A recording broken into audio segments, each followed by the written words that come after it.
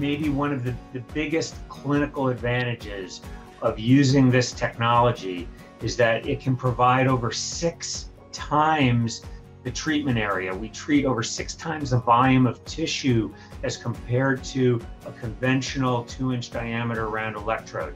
We use this advanced silver fabric uh, electrode technology.